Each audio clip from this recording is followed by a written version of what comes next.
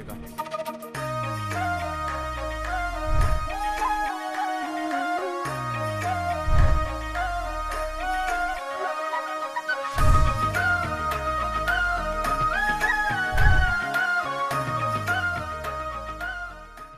Em Jagannathapuri, os sacerdotes são chamados de pandas.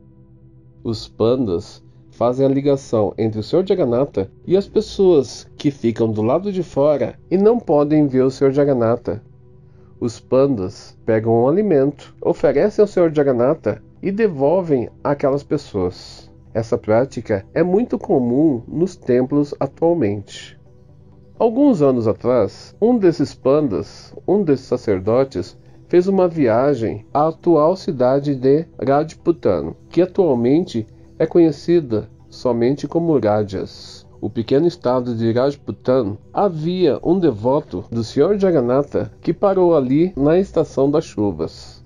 Naquela cidade tinha um rei que tinha uma filha muito bela chamada Vishnupriya. E assim como seu nome, ela costumava adorar o Sr. Vishnu o tempo todo. Quando ela ficou sabendo que ali na cidade havia um panda de um templo do Sr. Vishnu, Vishnupriya teve interesse de entrar em contato com esse panda e certificou que ele fosse bem cuidado e alimentado. O panda, após receber suas acomodações, ele estava confiante que poderia comprar muitas coisas em sua aldeia com algum presente que ela lhe oferecesse.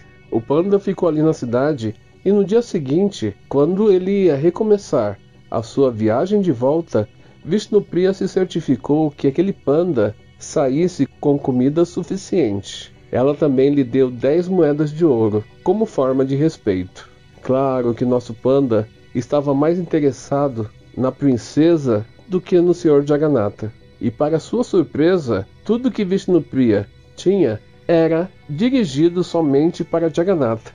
A princesa escreveu uma carta em oferecimento ao Sr. Jagannatha, mas o panda ficou furioso. Ele estava esperando que ela desse para ele dinheiro ao invés de uma carta. Só aquelas 10 moedas para ele não era suficiente. Mas ele resolveu não falar nada, pois não queria criar uma situação com o rei. Ele pegou aquela carta que a princesa havia escrito e jogou no lixo atrás de sua casa assim que ele chegou em sua aldeia. Ele chegou em sua casa, jantou e foi dormir. No meio da noite, ele viu o Sr. Jagannatha em um sonho. E nesse sonho, o Sr. Jagannatha expressou seu profundo desagrado porque um devoto havia enviado um presente para ele e o panda havia pensado que o presente deveria ser dele e não de Jagannatha e ainda jogou a carta fora, na lata de lixo. O Sr. Jagannatha pediu que ele recuperasse aquela carta e doasse aquele dinheiro. Jagannatha nunca rejeita uma carta de um devoto. O panda acordou totalmente assustado.